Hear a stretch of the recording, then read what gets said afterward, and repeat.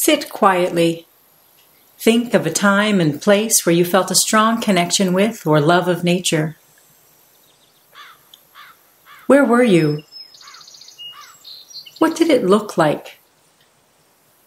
What did it feel like? What did it smell like? As you continue to reflect on the experience of this place and time, consider what contributed to the love you were feeling. Was it the air, the trees, the earth, the view? Close your eyes. Take a moment to reflect in silence.